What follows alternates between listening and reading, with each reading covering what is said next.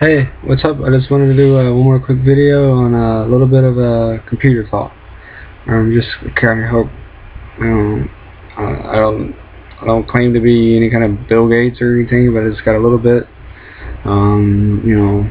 Anyway, here we go. All right, uh, so uh, power supply. Um, if your power supply does blow, um, you know, what you want to do is make sure that you get a power supply that's uh, specific for for that unit. So make sure that you have the the right um, the new power supply that will that fits specifically for your uh, computer for your unit.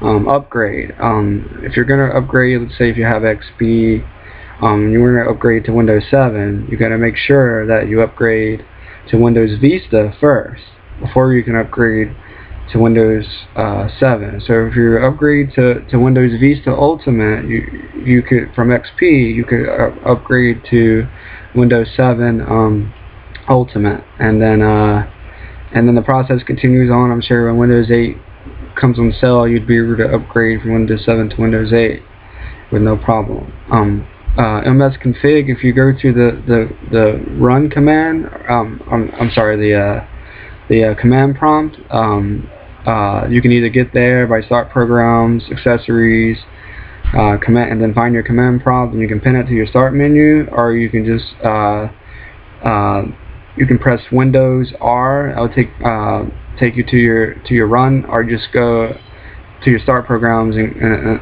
program and, and click the run search, the run thing. Anyway, when you have your run command, just type uh, CMD. That'll also bring you to your command prompt. And then when you're in your command prompt type msconfig and that gives you a list of everything that you want to find on your computer. And you can all you gotta do is just press launch and it will take you to where, wherever you want to go whether anything from your control panel such as uh, administrative tools or um, anything you want to find on there you'll find in the msconfig um, thing IE9 all you gotta do is just go to uh, microsoft.com or just type in IE9. you can upgrade to IE uh, Internet Explorer 9 uh, um, imagine you can do the same thing if you have a Mac or Apple um, and then Microsoft uh, you can do the, you know just just type IE9 and then um, you could probably do the same thing for Apple or Mac uh, but IE9 if you want to upgrade to to, to IE9 just go to Microsoft.com or just type in like Internet Explorer 9 or IE9 and should be able to upgrade on there from the internet. Uh, if you're a gamer, um, the best thing to do um, to cool down your, your system would, would be liquid cooling. Um, liquid cooling is like a passive type of cooling. Um, active cooling would be like a, active cooling would be like a fan or and that, and that sort of thing. And then a liquid cooling is like a heat sink or, or, or I'm sorry, uh, passive cooling is like a heat sink or liquid cooling, things like that. Um, like, hey Ken, um, there's Ken. Um, Ken is uh, the chief, one of the chiefs around here. He's a good guy. Um, he's a good man.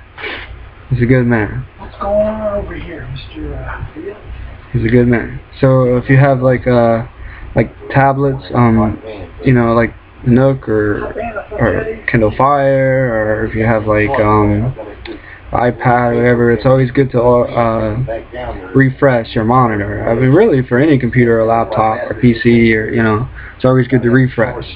If you have a tablet, you also want to refresh that a lot. And um, if you have problems with your tablet, um, so uh, you want to calibrate your, your monitor.